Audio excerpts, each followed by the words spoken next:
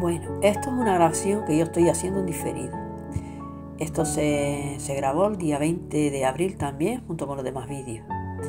Y buscando en, internet, porque es súper interesante esta, esta planta, y hay que comentar ciertas cosas que son importantes. Se llama Jacobea marítima y anteriormente conocida como senecio.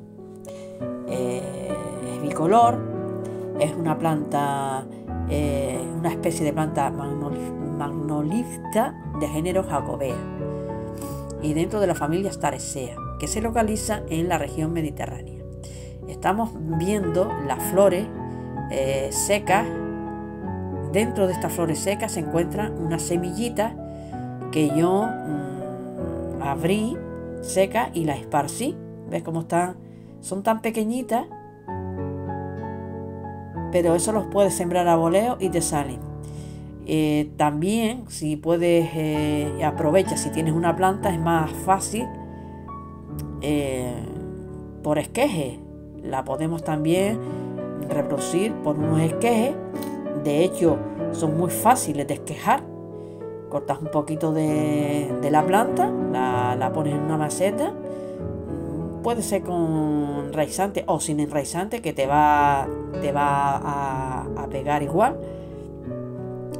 Estas flores que yo tengo aquí están un poquito todavía, no, se, no están muy secas.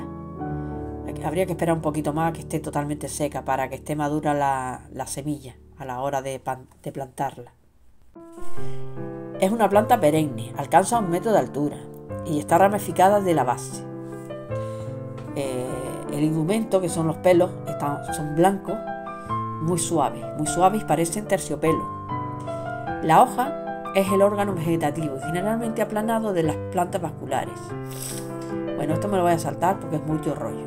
Ustedes lo buscan en internet si les interesa.